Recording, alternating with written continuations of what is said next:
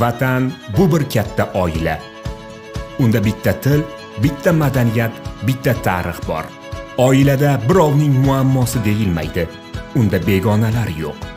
Biz bir birimizni doim qo'llaymiz. Yaxshiroq bo'lish uchun yordam beramiz. Muammolarni birgalikda hal etamiz. Giyohvandlik. Bizning umumiy og'riqli nuqtamiz. Unga qarshi kurash esa barchamizning vazifamizdir. Ayniqsa yosh avlodni bu ajaldan asrashimiz kerak.